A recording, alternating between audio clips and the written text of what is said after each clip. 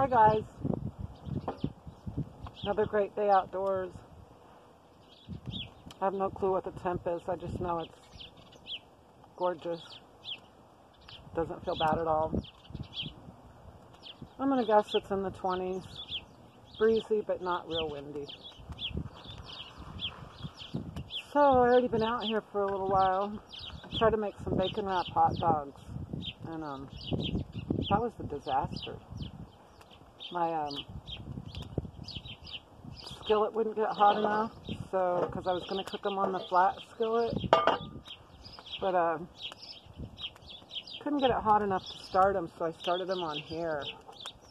And wow, the toothpicks caught on fire, and I took them out, and then the bacon fell off, and it was a mess. So, I went and gave them to JT and came back with some steaks. It's been a little while since we had steaks. Not sure if my teeth will allow, but I'm going to give it a try. So, hope you guys are all doing good. Brought some green beans out. Kept my bacon grease, so we're gonna green beans right on there.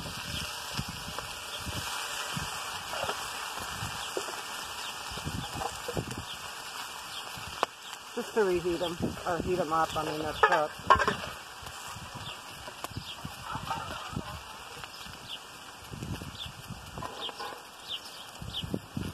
So, I lost my, oh here it is. Yeah, now it's going to get windy on us. Hear the birds, guys? I have a bird feeder I hung right outside my tarp shelter.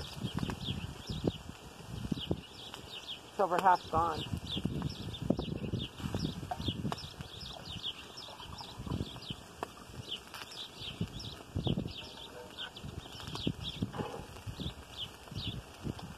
I forgot to bring out something hot to drink. And uh, looked in my picnic basket. You know, it's just enough sugar for a glass cup or two of tea and two Lipton tea bags. Was like, sweet. So today we are not using my favorite seasonings. I got some blackened seasoning I haven't had a blackened steak for a while. So we're just going to go with that and see what that's like.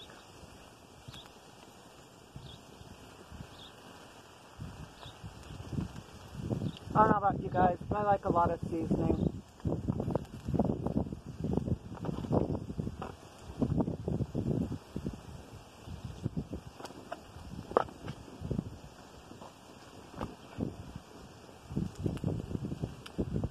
Guys, I was going to tell you why and when I started prepping. Um, my parents were raised in the Depression. My my dad's, I was born when they were almost 40. And um, my dad was in the Korean War. Um, well, he was stationed in Germany. He was a medic. And uh, so my dad not so much, but my mom always tried to keep backup of everything in the house.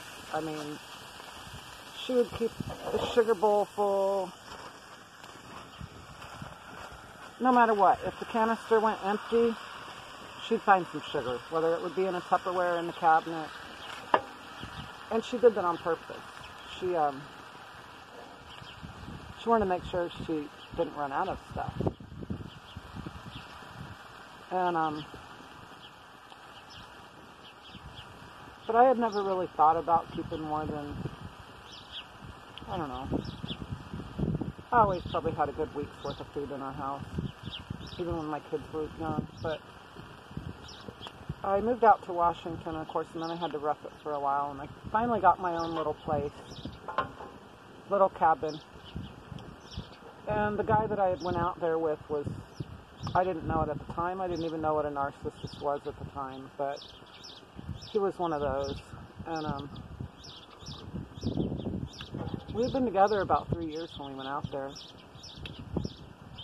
And he was all about getting his own self a job, and he would stop and get burgers for himself and Starbucks coffee. Okay, guys, mind you, we're, we're pretty much homeless, go do the day labor thing and get paid to go do that. And uh, so I ended up getting us this little shack to stay in for a, a bit. He didn't stay there long. Um, I sent him along his way, but uh, he left me a few times and came back. And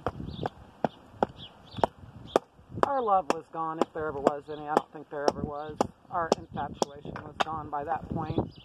And uh, I only allowed him to come back for convenience and not because of anything, you know, inappropriate to say on here, but um, for rides to the store, uh, to rides to go get my groceries. And, uh, but every time he left me, he made sure it was in between paychecks and he made sure there was no food in the house. And I realized later that that was no accident. Um, he wanted to make sure that I was left with nothing. And so then I got rid of him. And after we'd been split up for a little bit, I decided to give JT a go. He had been always kind to me at work and wanted to date me, but just because of the fact that we worked together and he was, you know, he started out we were coworkers and then he moved up to be our boss, but um, just because of that reason, I wouldn't even give him a chance. I said I don't date coworkers, but I finally did, and I, I don't regret it at all. But I was, we were sitting home one night in the shack. I watched a lot of YouTubers. I used to watch this one guy. Probably shouldn't even say who he is because he got took off YouTube because he's a little bit of a fear porner. But I was new to survival YouTubers, survival channels, and prepper things. But he said um, that there was a, a warning. I, I got to be careful what I say here too. A warning to the people about to keep at least um, how long was it? Man, it was 2018 when I heard it. Um, I want to say they said a month's worth of food or something. But anyway, that's not the point. It said to keep food and water and um, pet food and stuff in your house for an emergency. And I was on the west coast, so I was kind of expecting the Cascadia uh, earthquake. That's what I kind of started prepping for.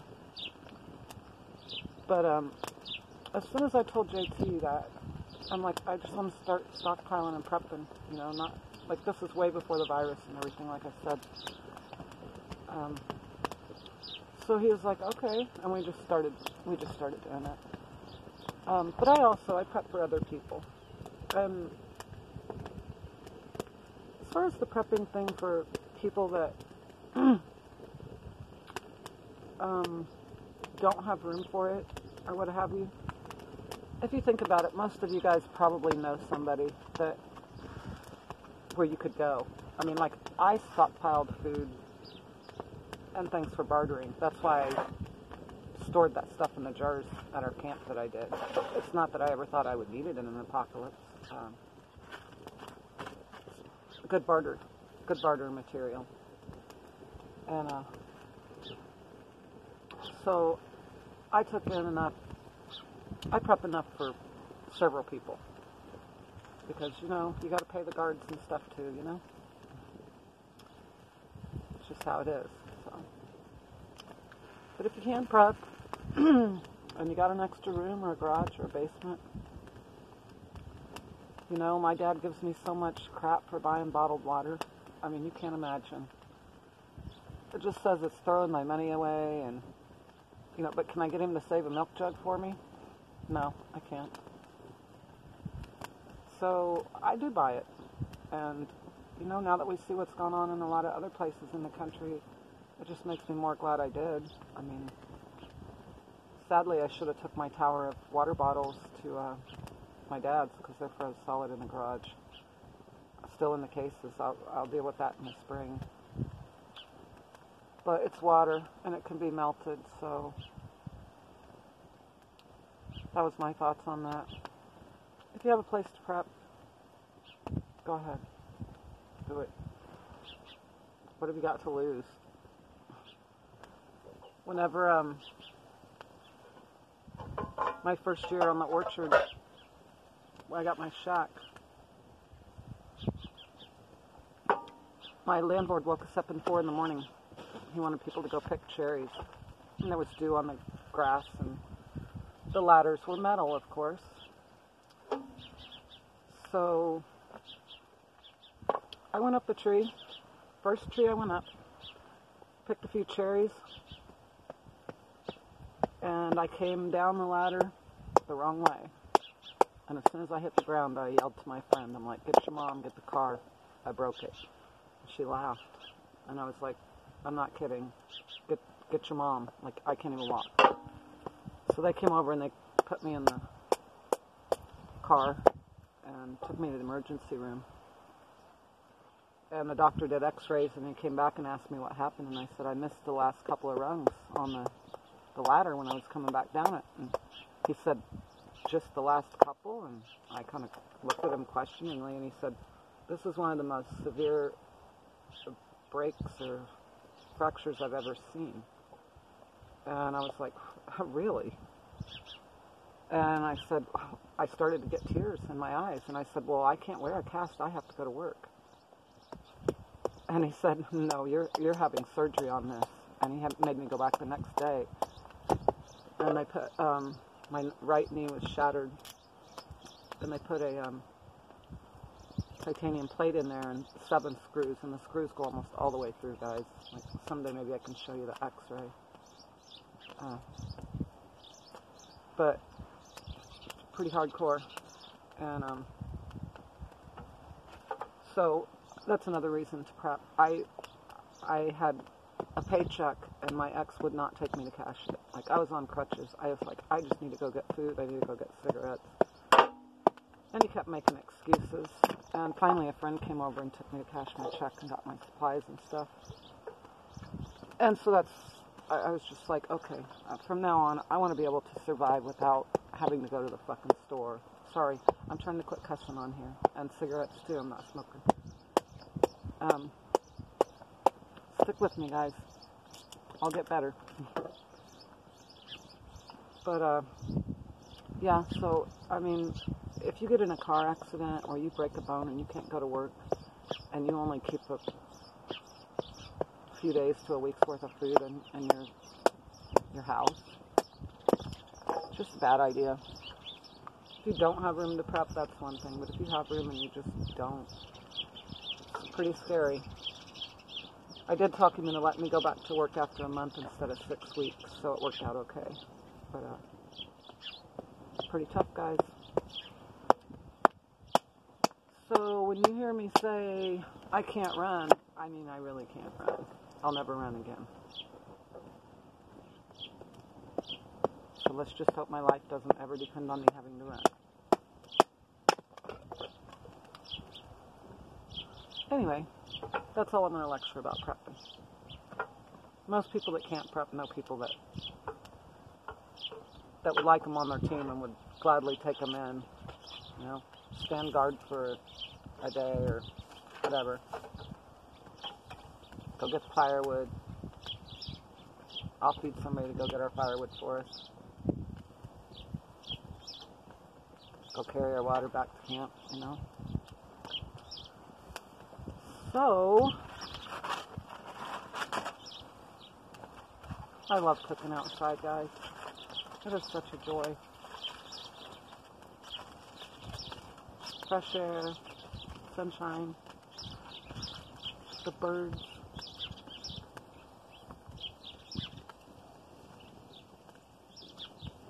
So happy and well fed. All my animals are. Not that these are mine. They're under my pine trees. So I suppose I should let you go. I don't want to run this into too long of a video. I try to give tips, but I, sometimes I feel like I should tell you guys more about myself. I mean, I wasn't just born a hardcore lady. Nope. Life makes you that way. You can either let it make you angry tough or smart tough. I don't let it make me angry. Not that I don't get angry myself or life, but um, I let it make me more determined. And my mother used to say something that I loved, and it was, um, I'm not a quitter, but I know when to accept defeat. So I always liked that.